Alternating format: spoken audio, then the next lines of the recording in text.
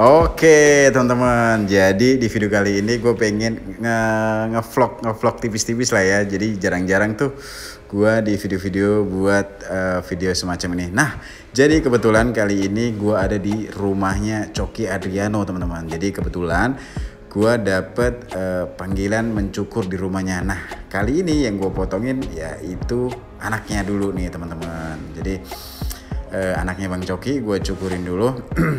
Habis itu ya dia nanti gue tunjukin ya gimana eh, gue nyukurin eh, Bang Cokinya. Jadi gue dapet host call dari Coki Adriano. Oke teman-teman kali ini gue udah bareng sama Bang Coki Adriano. Ya gue pengen potongin rambut dia. Lu mau tahu kan kayak gimana cara gue eh cara gue gue mau potongin rambut bang Coki kali ini. Jangan liatin tato lu jangan liatin oke bang Coki kasih Oke. Lihat ya, sebelum dan sesudah. oke ini sebelum gue potong dan nanti lu lihat aja pas udah dipotongnya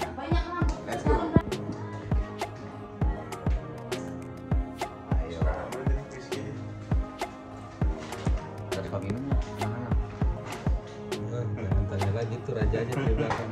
Ntar akhirnya oleng lagi ya.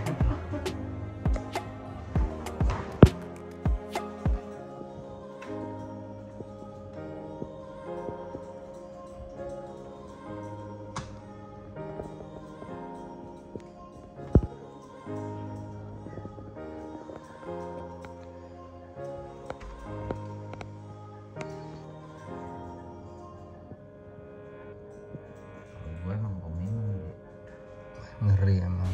Nah, jadi gitu teman-teman. Jadi di kesempatan kali ini gue dapet panggilan nyukur di rumahnya Coki Adriano. Nah, eh, kebetulan nggak gue jelasin lah ya step by stepnya atau langkah-langkahnya seperti di video-video gue sebelumnya. Nah, pokoknya kalau kalian pengen tahu langkah-langkah atau step by stepnya eh, gimana cara gue nyukuri Coki, Coki Adriano, eh, udah ada videonya di sebelum-sebelum eh, ini jadi nanti gue cantumin ya yang buat kalian yang pengen tahu eh, cara gue potongin rambutnya Coki Adriano. Pokoknya thank you banget buat kalian yang udah stay yang udah nonton di video gue kali ini.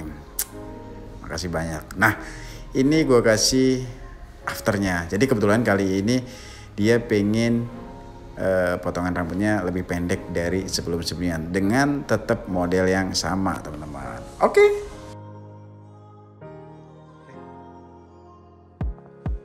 oke bang ini gue buat eh, sedikit agak pendek dari biasanya gimana Keren keren. Jadi gue lebih kelihatan fresh. lebih fresh dan tampak lebih muda Iya dong. Yo, Itu yang penting. Umur boleh, tapi jiwa muka tetap muda. Tapi pengaruh rambut. Biasa, loh. iya. Rambut itu pengaruh. Nih kayak gini kan bagus. Oke. Oke, teman-teman, jadi kayak gitu. eh, kali ini gue potongin rambut Bang Coki di kediamannya langsung dia eh, ceritanya dia nggak mau ke barbershopnya jadi dia berinisiatif barbershopnya yang didatengin ke rumahnya Iya dong. gitu dong baru keren. Tapi lu kalau Oke. mau manggil Dedi, Oke. siapin duit lebih.